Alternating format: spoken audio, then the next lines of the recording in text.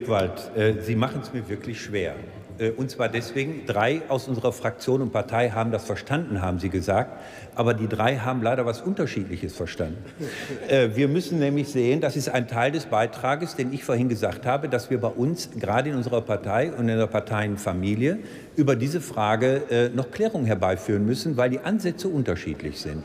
Und ich habe vorhin schon als Antwort auf den geschätzten Kollegen Kurt gesagt, dass ich zugestehe, dass diese Antworten unter dem Gesichtspunkt der Generationengerechtigkeit, unter der Frage, wie gehen wir innerhalb, äh, innerhalb dann Gesamtdeutschlands mit dieser Frage um, dass wir nicht neue soziale Ungerechtigkeiten schaffen, wie wir hier zu entsprechenden Lösungen kommen.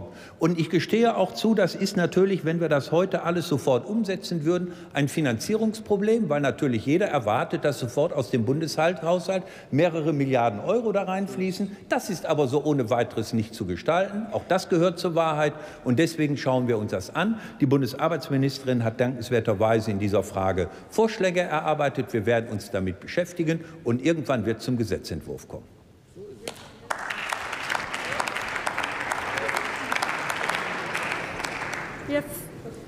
Wir fahren in der Debatte fort. Als nächste Rednerin